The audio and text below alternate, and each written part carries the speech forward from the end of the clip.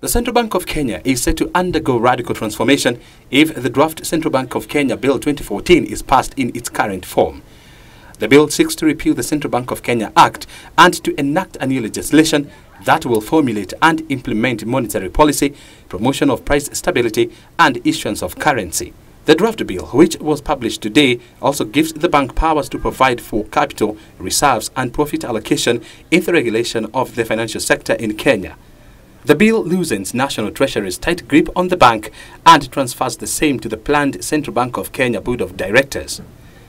Under the proposed law, the Cabinet Secretary will lose power to appoint the governor and his or her two deputies, a role that will be reserved to the Board of Directors. The draft bill further seeks to stamp the autonomy of Central Bank of Kenya by declaring that it shall not be under the direction or control of any person, agency or any other authority in the exercise of its powers or in the performance of its functions.